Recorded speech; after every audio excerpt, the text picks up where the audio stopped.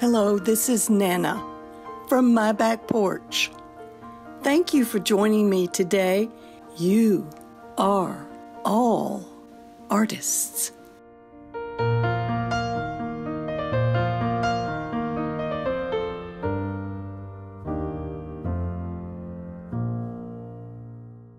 Hello there, artist friends. This is Nana. It's a little bit cold outside here today, and I am not on my porch. I am speaking to you from my kitchen. And there are all sorts of wonderful inventions here in my kitchen. There is a humidifier, there's a blender, there's a coffee pot there are just all sorts of inventions. And I'm going to tell you about someone who had a fantastic mind and a driving curiosity about inventing and learning. His name was Leonardo da Vinci. He was an artist a scientist, and, as I say, an inventor during the Italian Renaissance. He is best known for his paintings, his famous Mona Lisa, and The Last Supper. He kept marvelous notebooks of his inventions, the early version of a helicopter, an airplane, sketches of the human body, astronomy, map making. He was known as an early genius of that era. Da Vinci was born on April 14th or 15th, we're not sure, in Florence, Italy. He was educated by the famous Italian artist Verrocchio in his studio. That rhymes, but no, I didn't mean for it to rhyme. He had no formal academic training.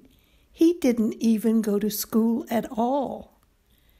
But many historians and scholars point to Leonardo as a universal genius and an individual of unquenchable curiosity and a feverishly inventive imagination. Can you imagine? All he did was think of things he could make and study and do. One historian noted that the scope of Leonardo's mind seemed to be superhuman, while the man himself was and still is mysterious to us. Yes, he is considered one of the greatest painters of all time. His painting, the Mona Lisa, the most famous portrait, The Last Supper, is the most reproduced religious painting of all time. In 2017, one of his paintings sold at auction for $450.3 million, setting a record for the most expensive painting sold at a public auction. The painting is Salvator Mundi. Now, I want you to look this up. Salvator Mundi is the name of the painting. And it is translated as Savior of the World.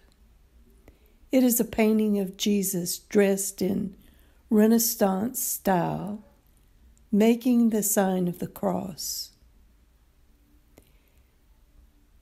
Preparatory pastel chalk and ink drawings are held in the British Royal Collection.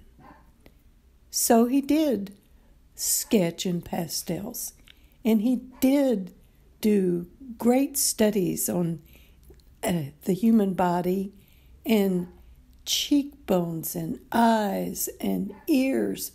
So by the time he was ready to paint the Mona Lisa, even though it took him 12 years to paint her, he didn't stay with it all the time. He kept studying about her. Da Vinci never stopped learning or experimenting. He made drawings of an armored fighting vehicle, or what we call a tank. He studied solar power, made an early adding machine, and is credited with the invention of the parachute. Discoveries in anatomy, geology, optics. He kept busy with his notebooks of discoveries.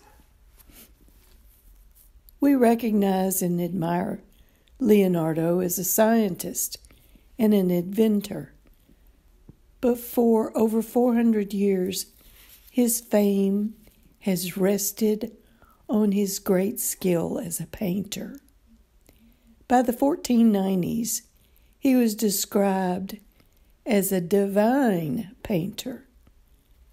Just his innovation, the new ways to lay on the paint, his detailed knowledge of anatomy, light in the room, and botany in the background, and geology, his interest in the way human beings have emotions, and his use of color and tone. All these came together in his masterpieces. Leonardo's fame within his own lifetime was such that it was said the King of France carried him away like a trophy to his castle and was claimed to have supported him in his old age and held Leonardo in his arms as he died. Crowds still stand in long lines to see his best known artworks. T shirts still bear his most famous drawings, and historians continue to hail him as a genius, as do I. Thank you for joining me today. I hope I have sort of made you become curious like Leonardo, and perhaps you'll do a little bit of study on him and look at some of his fabulous artworks and the things he invented and how he just has been magnificent for centuries. And always, always remember, like Leonardo is, you are also an artist. Love, Nana. Thank you for listening, artist friends. Please leave a review and share this with a friend. We invite you to join us in the You Are an Artist Clubhouse at chalkpastel.com, where we have over 500, yes, 500 video art lessons. We would also love for you to join us on Instagram, Facebook, and more. And be sure to tag us when you share photos of your artwork. We cannot wait to see.